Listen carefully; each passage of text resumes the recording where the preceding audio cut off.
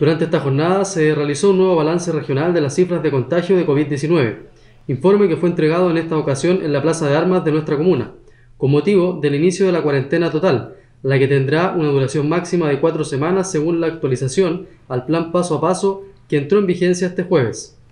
Autoridades regionales y comunales, encabezadas por el intendente subrogante Felipe Uribe, el alcalde de San Vicente Jaime González Ramírez y el Ceremi de Salud O'Higgins Pablo Ortiz, entre otras autoridades, reiteraron el llamado a la comunidad sanvicentana a tomar conciencia de la peligrosidad del virus y a cumplir estrictamente los protocolos sanitarios, ya que actualmente San Vicente es la segunda comuna con más casos de COVID-19 en la región, solamente después de Rancagua, y es trabajo de todos cambiar esa realidad. Me pidieron hacerlo en San Vicente para que la gente tome conciencia con más fuerza de la grave situación que estamos viviendo como humanidad y específicamente como comuna.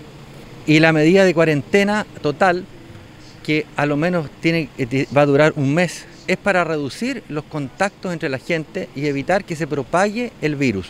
Ese es el motivo fundamental. Cada uno de ustedes debe asumir con responsabilidad el controlarse a sí mismo, evitar salir de más de la casa, ir al, al, mundo laboral y mantener las medidas de autocuidado, de distancia entre las personas. El mayor nivel de contagio se da cuando conversa con otras personas. Por lo tanto, tiene que tener más de un metro y medio de distancia, tiene que tener el uso de la mascarilla, tiene que lavarse las manos con frecuencia. Nosotros tenemos que lamentar pérdidas hoy día, pero esto puede ser mucho más si no nos cuidamos. Por lo tanto, yo como alcalde quiero decir que esta situación de cuarentena que estamos viviendo hoy día es muy necesaria, pero la cuarentena más importante es la que se imponga cada uno a sí mismo para protegerse a, usted y a su familia. En este segundo brote, con nuevas cepas, es más letal que el primero, por lo tanto tenemos que redoblar los cuidados. Decidimos generar el balance diario de COVID-19 que, realizamos acá en la comuna, precisamente para indicarle a la ciudadanía que estamos las autoridades muy, preocupadas del sostenido aumento de casos aquí en San Vicente y, creemos que en poco tiempo vamos a salir de esto si es que estamos todos involucrados en, bajar la cantidad de casos. Pedimos eh, y exigimos que la gente tome las medidas que correspondan, eh, el autocuidado, el lavado de manos, la mascarilla, indispensable. El llamado es a que la, la, las personas la ciudadanía en su conjunto respete la cuarentena, que se quede en la casa el mayor tiempo posible y si tiene que salir porque tiene que comprar elementos esenciales, que haga uso de los permisos que están establecidos para eso.